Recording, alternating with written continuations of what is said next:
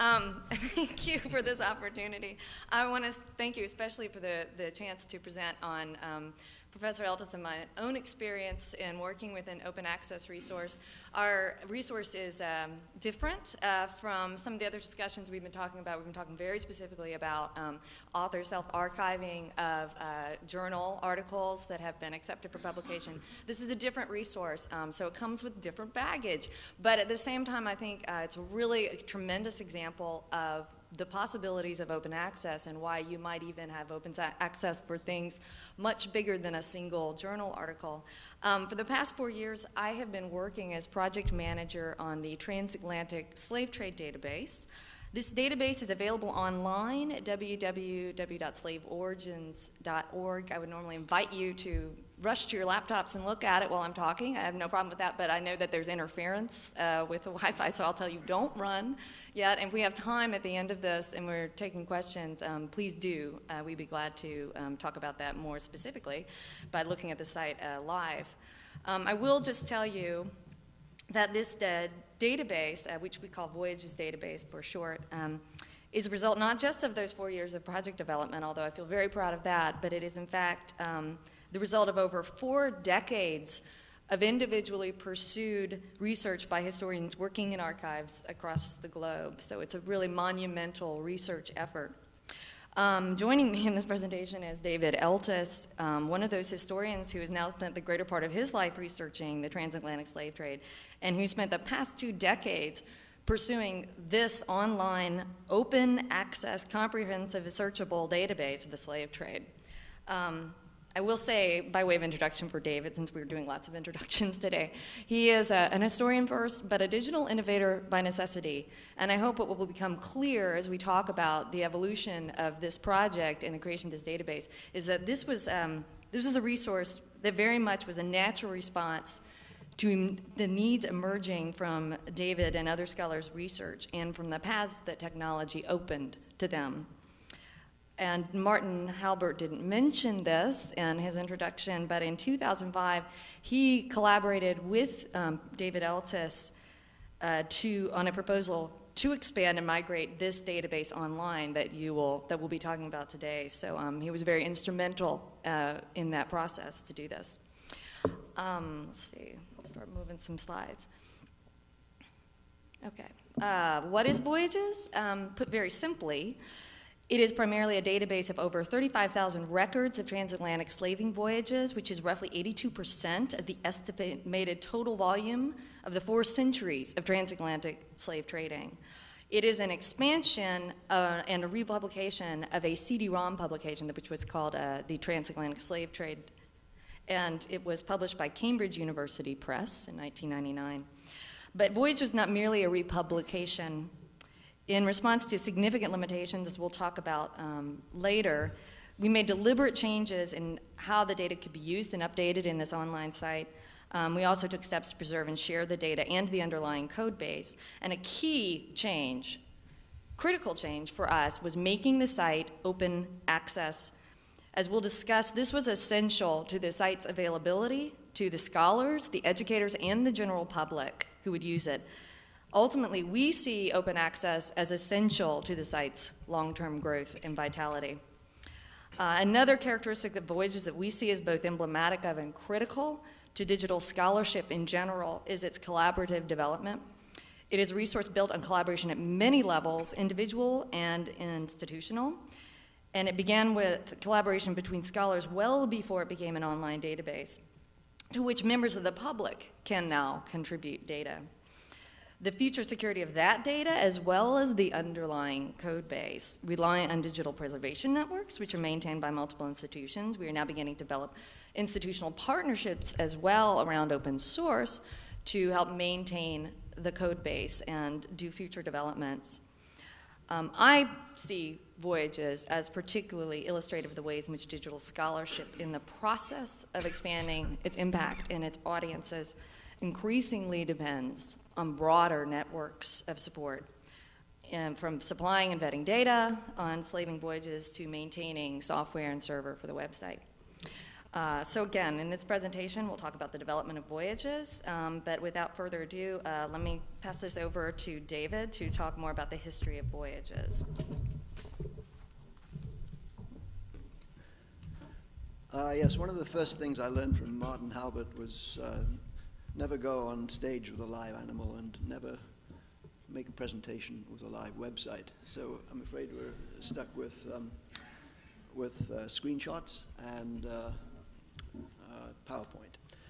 Uh, I'd just like to reinforce the, the fact that this, the slave trade lends itself to this kind of operation for, for the, main, the main reason for that being that, in fact, the, the sources for the slave trade are much better than the sources for free migration, simply because it was a business and records exist around the Atlantic world, which we've spent a long time trying to pull together.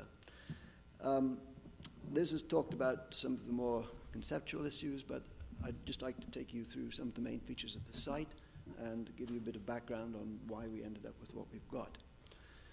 Uh, the home page, which you can see now, is made up of three major uh, search interfaces, and uh, I'm going to start with the second one, which is the estimates page um, even though the database itself is the cornerstone of the site.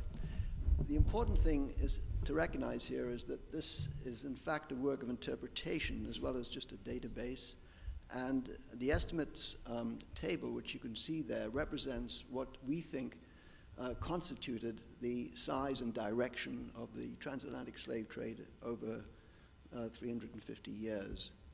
Uh, the interface allows you to, in effect, provide any produce any combination of region of, region of embarkation in Africa, region of disembarkation in the Americas, year, and the flag of the carrier responsible um, for bringing um, Africans to the New World. And as you can see, there are uh, uh, three tabs at the top of the uh, main part of the results section. Um, and what you're looking at now is the table tabs, but you can present any search that you conduct in the form of um, a map, which I'll show you in, in, a second, and a timeline, which, uh, which you can see here. So in effect, you can select any combination of year, geography, and uh, flag, and see what we think are the um, estimated numbers involved. and in addition to that, um, you can use various slides to highlight and underline the, um, the results that you that you that you've chosen. Uh, in addition to that, uh, there's the names database, the second of the three search interfaces. This is based on records of 67,000 individuals who were actually uh, removed from slave ships during the abolition era in the 19th century. Uh, they were taken to international courts, which were located around the Atlantic world, and in the process of being um, uh, liberated, the details of the individual were taken down and recorded in huge ledgers, which we have in effect computerized. And the great benefit of the great um, finding here is the African name of the individual. And we are actually using this information to move to a second phase um, called Origins, which is a separate, se- a separate website, and which we expect to, will be able to give you the uh, uh, allow people to see a geographic profile of the African sources of the slave trade as opposed to the transatlantic voyages, which you can see in the, uh, in the other two interfaces. Uh, so what you see here is, the, is a list of the first 20 of 67,000 individuals. And again, you've got a search interface on the left-hand side, which allows you to select um, by various criteria. Uh, in addition to that, there's a, uh, there are uh, images in the website. Uh, this gives you a thumbnail view of individuals who are actually um, associated with the vessels. Everything on the website is referenced to the individual voyages, which form the, the main uh, search interface, which I'll come to in a second. And in addition to that, we've got uh, interpretive maps, um, which you can actually spin through very quickly and get a picture of the slave trade uh, probably in two minutes or less. Uh, this one in particular shows you the overall um, geography of the slave trade and indicates the links between Africa and the Americas. It actually also shows the fact that the transatlantic slave trade was not the only uh, slave trade to which Africa was subjected. Can see here very clearly the connections with uh, North Africa and the Indian Ocean.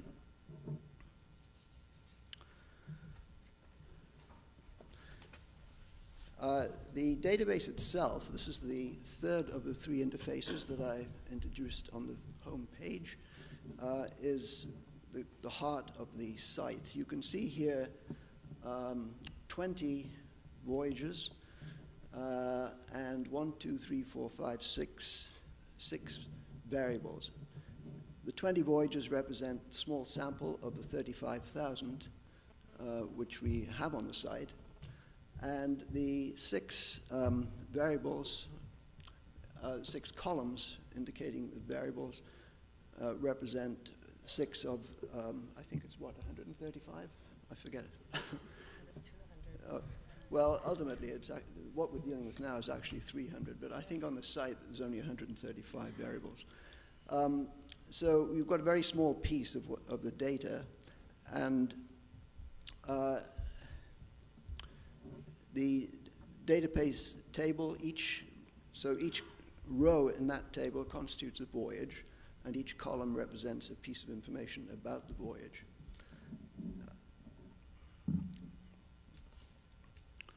Uh, the actually, can we just go back? Uh, you can select any, again, a wide range of combinations of these variables. And if you look at the tabs along the top, you can see what you can do with the selection that you make. You can get summary statistics, uh, tables, um, you can build your own custom graphs, uh, you can have a timeline very like the one we just looked at with the estimates interface. And in addition to that, we've got um, maps in which uh, we can indicate very clearly the numbers uh, leaving the African coast or arriving in the Americas, and indeed departing from Europe or the Americas, um, as the ships did to get the slaves. Uh, and, it, and, also note the, uh, fact that we've, we've got a large number of sources in each, for each voyage. Uh, in this presentation of the data, you can see in the final column on the right-hand side a list of sources. Uh, these are obviously uh, in short form, but you can expand these very easily and track down exactly where we got the information from. Uh, in terms of development, the database, as Liz suggests, actually started life around 1968 as a bunch of um, uh, cards, um, which we fed into an IBM machine. And uh, it eventually became, by the, in, in the 1990s, a CD-ROM. I think we started out in 1993 with the first NEH grant, uh, and we were thinking at that time of charging, I think, $1,500 for the CD-ROM. CD-ROMs were just coming on stream then. And uh, by the time we actually produced the CD-ROM, the price had come down to a mere 200. Uh, we, the research endeavor really came from the fact that there were lots of different databases collected by individuals, individual scholars, And we began this phase of the project by um, really by a chance meeting in, a, in an archive where two, two of us decided that it wouldn't be a good idea if we actually put this material together. Um, the, uh, the, I think the key, one of the key features of the site is the fact that we are opening up contributions. The, the, basically, we know that there are many people out there who have material that we do not have. And we are therefore, uh, we've spent a fair amount of resources creating um, a contribute page where people can register and both correct our data and um, expand it. There are new voyages as well as new information on existing voyages. Uh, in fact, I've actually just spent yesterday afternoon in an archive in Dallas uh, collecting new information from a 1776 logbook of a slave ship, which um, an individual in a very large house um, had purchased from a dealer um, five years ago. And uh, I, of course, have digital images of this and will be putting the data into the uh, database itself in the very near future. The idea is that what I was doing yesterday will be done by hundreds of others over the course of the next few years, and eventually I think we'll end up with a much bigger and more complete set of data than we've got now. Do we have the contribute page? Uh, we don't have the actual live page. Yeah. So, well, this just shows you, this is the invitation to contribute. I think the, the point, uh, the final point I want to make in this section is just to stress that the, the route to voyages passed through um, the web, uh, came to the web via the Du Bois Institute in Harvard, the University of Hull.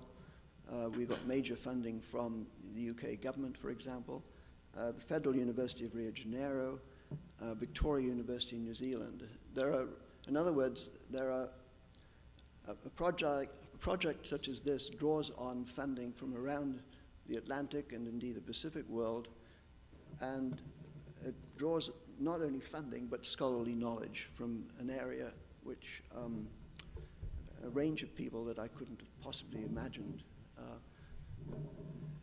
when I started my career some 40 years ago. So we now come to the question of why we chose to make Voyages open access, and I think it's sort of self-evident from, from what I've said already. But the, I think that the project essentially grew with, with computers. It began with the computer revolution in the 60s and um, has more or less kept pace with it since. Um, and I think the, the, the funding that we've received has been largely government, and I think that in itself drove us to the open access position. Um, but there's also the fact that the, we had the choice back in the 90s of actually going with uh, Cambridge University Press, who published the CD-ROM. And Cambridge were actually prepared to move this to the web. Um, and indeed, they got several estimates um, to do so. And I think uh, those of you that are familiar with Cambridge will know that they do a fairly wide range of electronic publications and charge, of course. Um, they have the historical statistics of the United States uh, and several other projects which have basically operated on a user pay basis. Uh, the, I think the thing which prevented us going down that road was actually the award of a grant from, um, in this case, uh, the Arts and Humanities Research Board in the United Kingdom. And this was backed up with NEH funding uh, thereafter. Uh, but for a time there, it, this project could have very easily gone down the uh, private use road. As we've seen today, I think that road was probably leading to a dead end, uh, but we weren't sure of that at the time. so the, I guess we'll, we're running out of time, so we'll move on to the question uh, very quickly of what's this, what choosing open access has meant for us. And maybe you can take over at this point. I don't want to tax tax your ears or, or hands over here. I'll go very very quickly to what this has meant for us and just hit a few points. Um, I I do actually want to go back just one point and um, really hit the point again that the CD-ROM database, um, though cheap in terms of the time period, um, it was out of the reach of a lot of people. It was over $200. Um, aside from the fact that it was um, even if it was adopted by your library, that meant you had to use it in your library, and that meant it wasn't really available for use in a classroom, it wasn't really available for use by a lot of students for assignments, and it certainly wasn't available easily for the general public, which really limited our audience, including the Texan that David uh, just met yesterday. So there is really a broader public to which we knew this would serve, um, aside from the fact that it also just wasn't easily updated. Um, what has it meant for us to be open access? What it means is that um, more people can access this database anywhere, anytime. We have people contacting us. Um, uh, there was a linguist who contacted me from uh, Munich, Germany, who said, I'm looking at the, I mean, linguistics seems to be a theme today, but uh, he was saying, I'm studying the uh, transition of languages from Senegambia to Curacao. So this is a resource for him. Um, we were contacted two days ago by an independent researcher studying Quakers in Rhode Island, who has information on a cap, an owner of slaving ventures there, who is not currently listed in some of these voyages and would like to contribute that information. These are people who we didn't, did not reach um, likely before. I mean, there's part of this challenge is we don't have baselines. There was easier, an earlier discussion about metrics. Um, this is something we actually can track now with our open access site. We do use Google Analytics to track um, where the data is is being used, what pages are getting a lot of hits, when. Um, so that sort of information is very useful for us to turn around and say to the library director, this resource is valuable to this many people on this regular recurring basis. Um, the final point I would like to say about, um, there's some other points but if there's going to be a published proceedings, you'll just read it there. But um, for us, uh, we are really looking at next steps. We've already made the open access move. We're already committed to that. I would say to any institutions who are considering open access that you really view it as a commitment to long-term um, provide provision of scholarship. It is different in our case because we're dealing with a database software. We're dealing with a lot of other aspects that you don't have to deal with because you have an infrastructure already set up with an institutional repository. But we see this um, as our next step moving forward to really develop broader networks of collaboration, to work with other places like we are working with the Wilberforce Institute for Slave, Study of Slavery and Emancipation at the University of Hull, to um, make mirror sites of the, uh, of the uh, Voyages website, to also share the code and develop and maintain that code. But it is making these steps and reaching out and figuring out ways that we can do, do better leverage our own resources to keep this uh, site going. And I know we're out of time, so thank you very much.